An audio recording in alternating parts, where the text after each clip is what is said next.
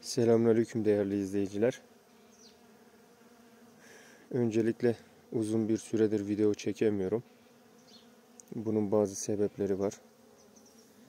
Bu sebeplerden en önemlisi işlerim yoğun olduğu için ve aynı zamanda dışarıda havalar sıcak olduğu için eee, kamera sıcak havada e, bir zamandan sonra kendiliğinden kapanıyor. O yüzden video falan çekemiyorum.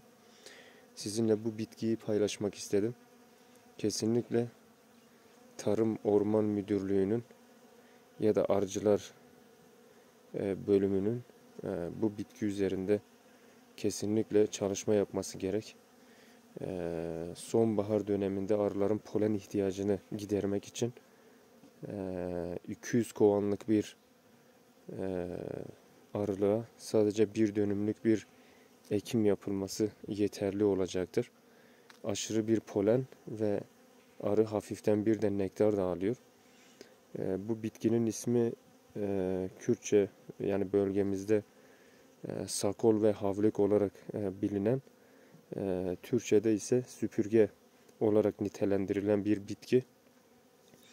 E, mükemmel bir arı yoğunluğu üzerinde var. Tabi şu anda çok erken e, olduğu için sabah saatleri e, öyle çok aşırı bir arı şu anda yok ama yani e, bazen üzerinde oğul gibi arı var. E, bu bitki çok dayanıklı, her bölgede olan e, ve gerçekten çok güzel verim elde edilebilir bir bitki. E, bu bitki bahçemizde olmuş. Bakın gören de diyecek arı oğul vermiş. Mükemmel bir polen akımı. Mükemmel bir arı üzerinde. Bu bitkinin kesinlikle çoğaltılması gerek. Ben bu yıl bu tohumlardan alıp Allah'ın izniyle e, arılığıma yakın bir yerde yarım dönümlük bir arazide ekim yapacağım.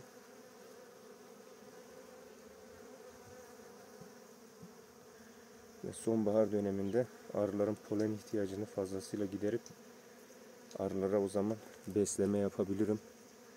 Arıya çünkü çok yumurta attırabilirim o zaman.